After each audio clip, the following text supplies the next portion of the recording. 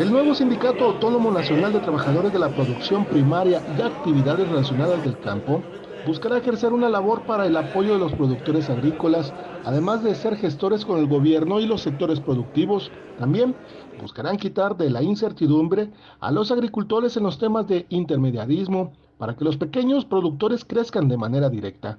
Itzel Suárez, secretaria general del Sindicato del Campo, dijo que a pesar de que el sindicato es nuevo, ya hay presencia en toda la República y está en el proceso de la afiliación para generar enlaces sindicales con las delegaciones regionales de cada estado.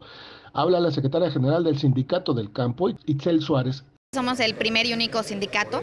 En realidad no existen más sindicatos de esta naturaleza a nivel nacional. Entonces es más que novedoso, sino es una necesidad que tenemos nosotros los campesinos productores de todo índole del sector primario y sus transformaciones. Es una necesidad que tenemos para el derecho y poder eh, exigir nuestros, eh, nuestros derechos como trabajadores del campo. Entre los objetivos que tiene el nuevo sindicato del campo es la entrega de una tarjeta de la Coordinación Autónoma de Trabajadores y Empleados de México, que al afiliado obtiene 25 beneficios. Entre ellos está la telefonía celular ilimitada, además de un seguro de vida.